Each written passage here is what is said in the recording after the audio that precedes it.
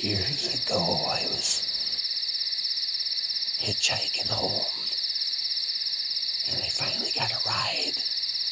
It brought me close, but I was still three miles from actually getting to the house. Oh, yeah. It was two in the morning, I believe. So I started to walk where there was no traffic in them days to speak of, not on highway, let alone a back road. So every step I took, the further I got up that dark, gloomy road that led to basically nowhere, trying to get home. Oh, I'd hear something in the woods. And I'd stop. And then it would stop. I thought maybe I was just hearing things. So I started walking again. I'm like, I'd stop. I'm like, oh, I know I heard it this time. So I just thought, I better get the hell going. I'm walking a little faster. Basically praying to God that I make it home safe. It was so terribly dark and gloomy.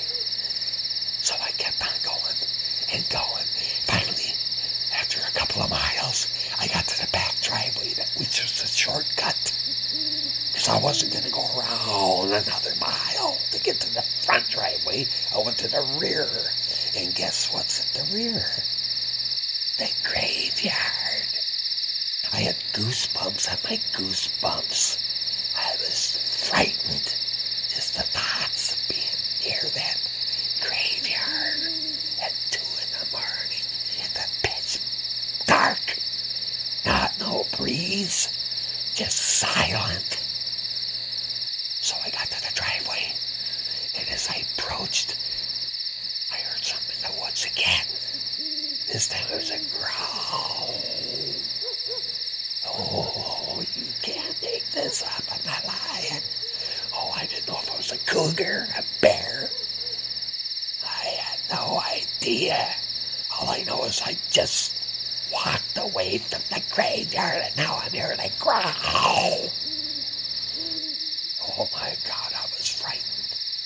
So I just walked as fast as I could, fast as I could, fast, fast, fast. Finally, I got to the pine trees. I knew I was close. I was close, and I wasn't hearing any more footsteps.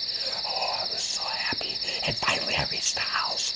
Oh, I couldn't wait to get upstairs in my bed, and that's where I in for the night.